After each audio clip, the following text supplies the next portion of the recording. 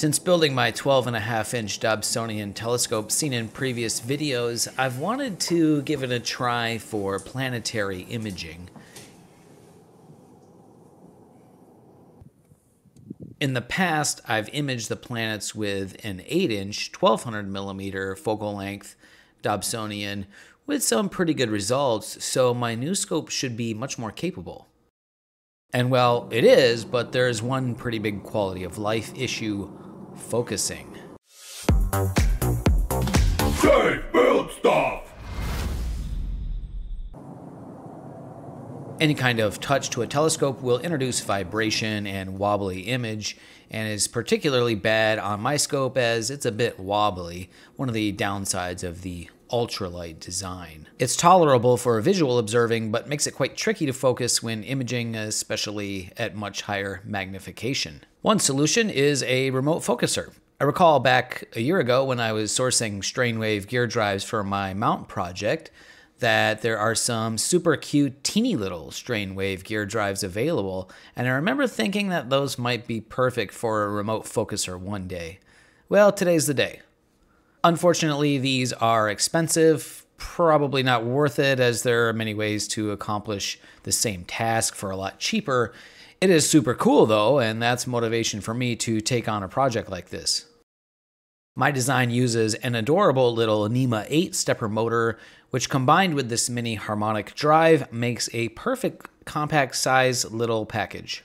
3D printed herringbone gears will couple the motor to the focuser drive shaft. Then the assembly attaches to the bottom of the focuser with this nifty dovetail clamp. Before we get to the assembly, I want to take just a moment to thank you guys for being here. I appreciate your support on the channel. I've set up a Patreon account I wanted to let you guys know about. Link in the description down below. If you'd like to support the channel further, check it out over there. Just real basic for now, only one, you know, tier membership support. I'll kind of see how it goes and, you know, maybe we'll decide, we can decide some uh, different levels of tier support later on and rewards and things like that. But for now, if you'd like to support the channel, further, uh, check out Patreon. Also, if you don't want to go over there, you can use the YouTube join feature to basically do the same thing. There's also the the super thank feature if you feel inclined to do that. I greatly appreciate your support. I have a bunch of new projects that I've been meaning to get to for a long time and finally have some time to work on this stuff now. So um, that's going on. Also, I have a Discord server that I was using back around a year ago when I was doing flight sim streaming. I might get back into doing a little bit of that, but uh, for now I've retooled it to be a place to help support the channel.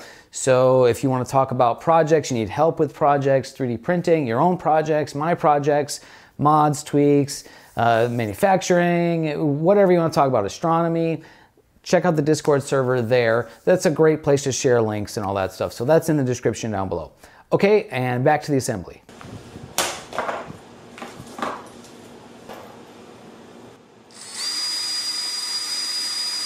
I start with assembling the shaft coupler. One of the problems with this little mini harmonic reducer is that both the input and output shafts or flanges are threaded which makes it really difficult to attach to a shaft. And I'm not really sure how these things are meant to be used or what they're meant to be attached to.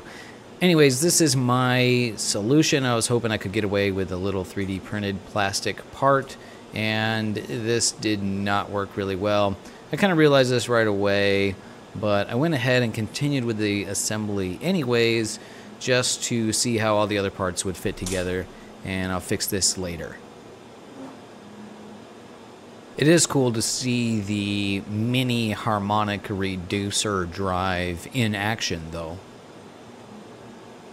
The motor and reducer then get inserted into the housing and just screwed into the front.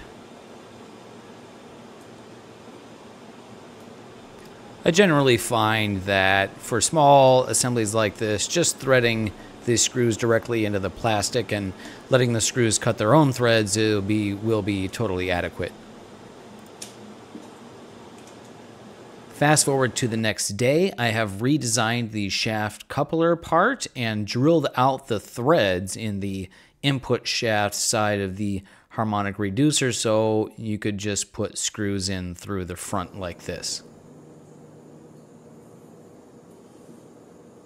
I also have a slightly updated housing design and reprinted both of these parts in carbon fiber polycarbonate because it's just more better for this type of application. The dovetail clamp is printed in a separate part and is held in place with two screws and these springs to open the clamp automatically when you release the tensioning screw. A dovetail bottom plate to the focuser will be installed and here you can see how the clamp works.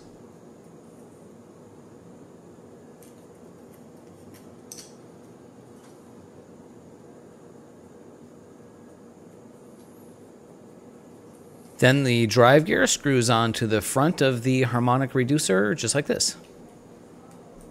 I didn't have the correct length screws, so it turns out just jamming these washers in the side of here, uh, that works just fine. The focuser knob on the left is replaced with a matching drive gear. And then I can do a first test fit and immediately run into an issue that I didn't see. The focuser housing interferes with one of these screws that hold on the dovetail bottom plate to the focuser. This required a third redesign of the housing to shift the dovetail clamp back a little bit so I could have enough room for the screw heads on the bottom plate of the focuser. After that redesign, reprint, and reassembly, everything is good to go. Now it's time to add the connectors. I wanted some really nice quality connectors for this project, so I chose these LEMO connectors, which you'll often find on industrial equipment or professional audiovisual gear. They are super cool, but holy moly, are they a pain in the butt to solder and assemble, and I would not use them again uh, because of that. I didn't record any footage of assembling the male connector because that was really fiddly and tricky and quite frankly I'm not even sure how I managed to pull it off. But here's the female receptacle and this is a damn good solder job for such small connectors if I do say so myself.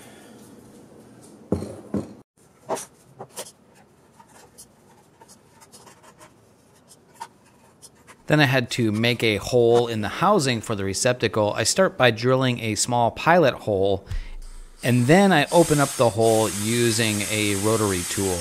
This is because a large drill bit will likely crack the plastic at the layer lines and just make an overall mess.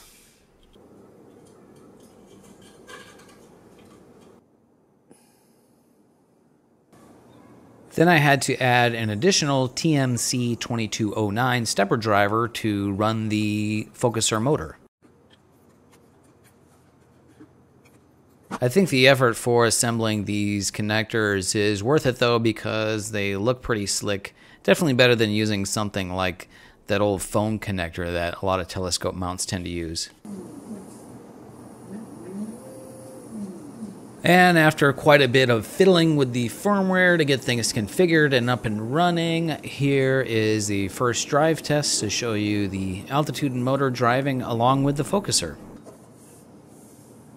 And then a final test assembly with the focuser and redesigned housing to see how everything will mate up. I would later go back and add a thumb knob to this screw so I wouldn't have to use a hex key.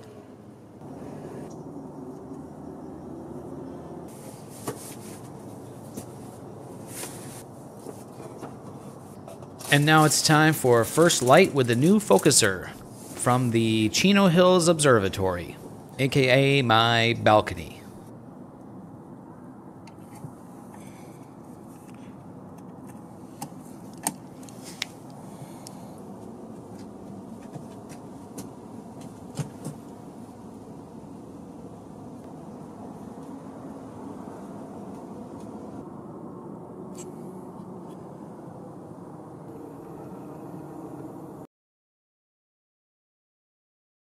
As you can see, this is a huge improvement over focusing manually.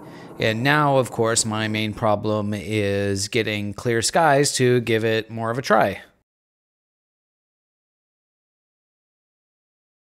I did manage to get one night with really good seeing and was able to get this sequence of images of Jupiter with its moons Io and Ganymede, and also the Great Red Spot making an appearance. This is a bit of a teaser for the next video. I converted my harmonic drive telescope mount from alt-az into equatorial mode so I could do deep sky astrophotography imaging. And of course, this focuser plays an important role in that rig.